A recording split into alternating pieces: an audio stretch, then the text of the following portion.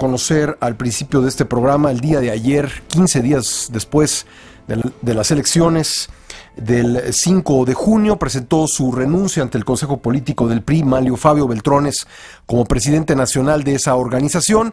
Y para hablar sobre pues lo que será el futuro del partido, el futuro inmediato, tengo en la línea telefónica y se lo agradezco mucho a Francisco Labastida Ochoa, ex eh, gobernador del estado de Sinaloa, ex secretario de gobernación, ex senador y también ex candidato presidencial del PRI. ¿Cómo estás, Paco? ¿Cómo te va? Afortunadamente bien, Pascal. Me da mucho gusto saludarte y utilizar este medio para saludar a tu auditorio. Bueno, eh, Paco, eh, muchas gracias por estar con nosotros. Cuéntanos tus impresiones de la, del anuncio que hizo ayer Mario Fabio Beltrones. Bueno, la primera reflexión que me surge es que lamento que Manlio Fabio se haya ido del partido. Es eh, una gente que, lo dijo el propio presidente, hizo muy bien su trabajo este, y va a ser eh, pues un reto encontrar una gente con los mismos méritos, ¿no?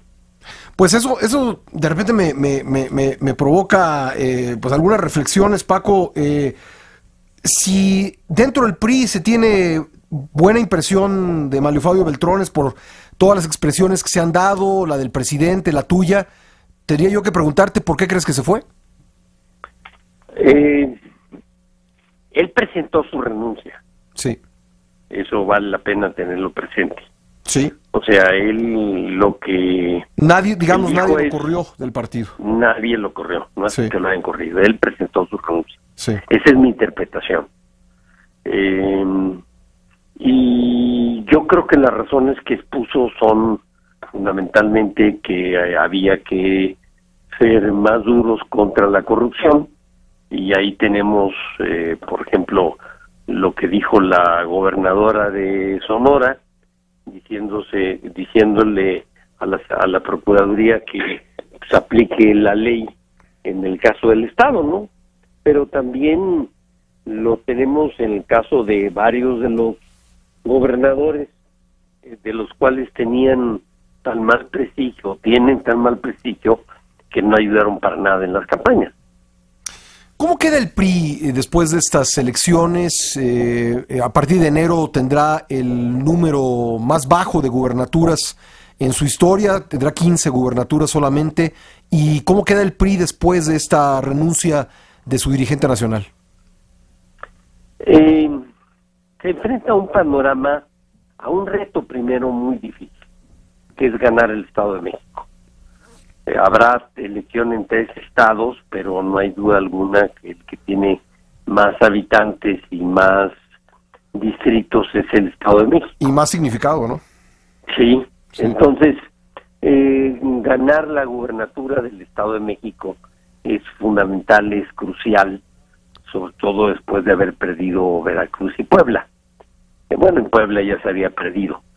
Eh, eso va a implicar un trabajo muy muy inteligente, muy fino eh, dentro del partido y en concordancia con, con el gobierno este, para poder ganar las elecciones. Eh, y eso implica actuar no solo con, digamos, en estrategia de comunicación, sino solucionando problemas reales que en el país existen. En, tu opinión, eh, ¿qué tipo de dirigente debería venir? Eh, y, quiero preguntarte también por qué tipo de candidatos debería tener el PRI a partir de este momento, dado que, pues no sé si los que fallaron fueron los candidatos o los gobernadores o ambos, pero comencemos si quieres por qué tipo de dirigente debiera tener, debía venir a sustituir a Mario Fabio Beltrones. Bueno, debería tener desde luego muy alto prestigio, una alta credibilidad, eh, tener la confianza y el respeto de la mayoría de los priistas, de tal manera que logre la unidad dentro del partido, me parece que es fundamental, tener una relación de eh, confianza y cercanía también con el presidente de la República, sin lugar a dudas, este y conocer muy bien a la gente y conocer muy bien al partido no no son virtudes y características fáciles de conseguir, ¿no? Tú, tú puedes pensar en algunos nombres y te quiero preguntar si Francisco Labastida no está en esa lista de posibles dirigentes del partido. No, no, no, no. A mí me hicieron el favor de invitarme de secretario y di mis razones y afortunadamente eh, las comprendieron y me aceptaron que no que no fuera. ¿Debiera ser un, un exgobernador? Eh, en, tu opinión, ¿tendría sentido que... Yo creo que ayuda mucho. Ayuda mucho. Un, un exgobernador conoce muy bien el sistema político. Ayuda mucho. Y si se escoge un exgobernador que tenga muy buen prestigio, ayuda mucho, sin lugar a dudas. Oye Paco, y respecto de los candidatos, como tú dices, vienen tres elecciones el año que entra, eh, la más importante de ellas es el Estado de México, un estado eh, yo creo que crucial en el, futuro político del, partido y del proyecto del presidente, no solo por ser el, estado más poblado, sino por ser el estado del presidente. Eh, hablando de esa elección y de las demás que vienen, ¿qué, ¿qué, debiera estar buscando el PRI como candidatos a distintos cargos de elección en el futuro? Yo creo que es una mezcla de cosas. No, no es solo el candidato. El candidato tiene que tener, eh, ya quisiera yo, un carisma como el que tuvo Peña. Eh, Peña, sin lugar a dudas, fue un hombre, es un hombre de un extraordinario carisma, extraordinario. Este, ayudó sin lugar a dudas muchísimo ese carisma suyo para poder ganar las elecciones. Entonces, sí, necesita un candidato con carisma, pero también se necesita dar respuestas a la gente. Me parece que eso es fundamental. Ayer decía Beltrones que eh, pues los, los, eh, lo que los gobiernos hacen, sus partidos lo resienten. Por supuesto. Y, y, bueno, ahí está la declaración de la gobernadora de, de Sonora, pero yo también te agregaría la de eh, el de Guerrero y también te podría agregar el de Quintana Roo y el de Veracruz y varios más, ¿no? sin lugar a dudas, algo que le molesta a la gente profundamente es la impunidad en todos los partidos, los moches que, se hablan los diputados, etcétera, etcétera, ¿no?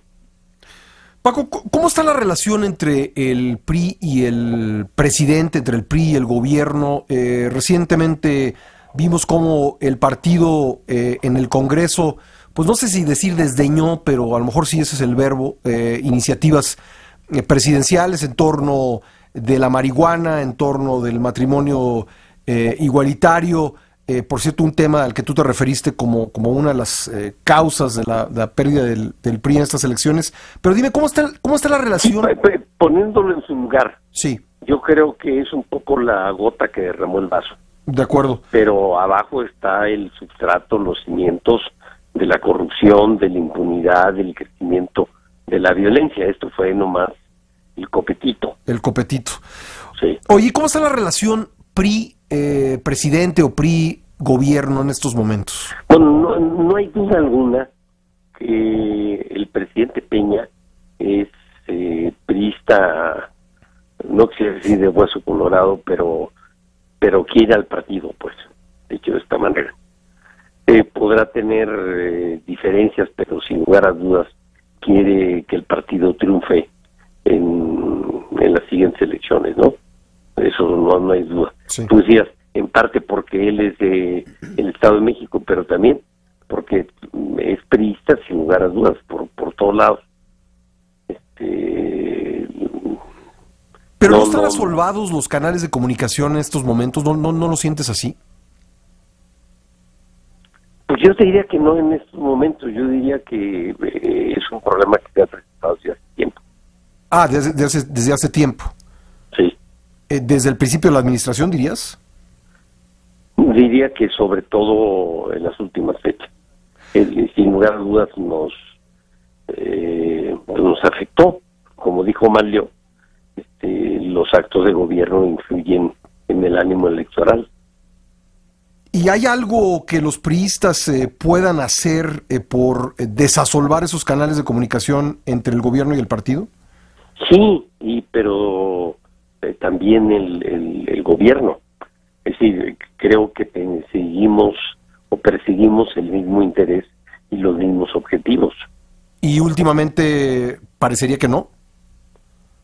Mm, más que decirte que no, eh, digamos que los instrumentos que se han utilizado, sin lugar a dudas hay que perfeccionarlos, ¿no? Pues eh, Paco, te agradezco mucho estos minutos para el programa.